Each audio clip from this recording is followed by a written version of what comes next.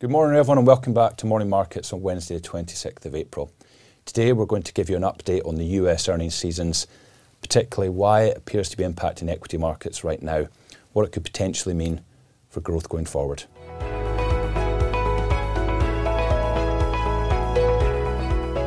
So, as you can see on screen, equities performed poorly yesterday, mainly led by the U.S., and this is despite what we're seeing as a strong earnings updates for Q1 from the majority of large-cap U.S. corporates. We had earnings yesterday from Microsoft, Pepsi, McDonald's, and Alphabet. Very strong earnings, market beats taken positively. However, there is an issue which continues to dominate, and this relates back to Silicon Valley Bank at the start of March, where you recall that bank was effectively declared insolvent and had a market solution led by the Federal Reserve Insurance Corporation to bail in that bank. We're now dealing with an issue from First Republic, which is very similar. That is, the bank has mismanaged its assets versus its liabilities, and whilst it's still solvent, it saw a huge drop in deposits through Q1.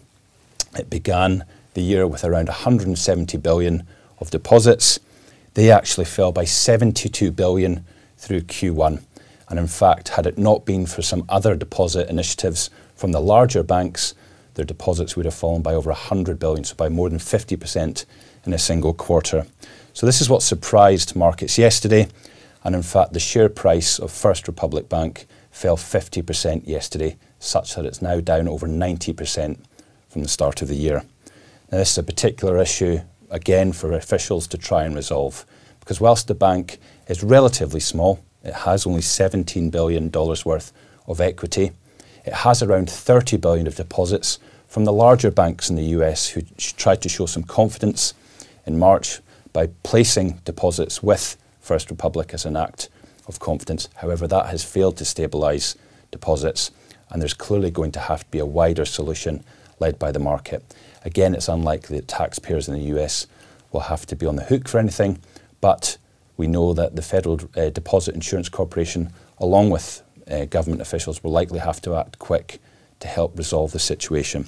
But it is localized, so despite the 50% fall in share price from First Republic yesterday, wider U.S. banks, the KRW index was down only 4%.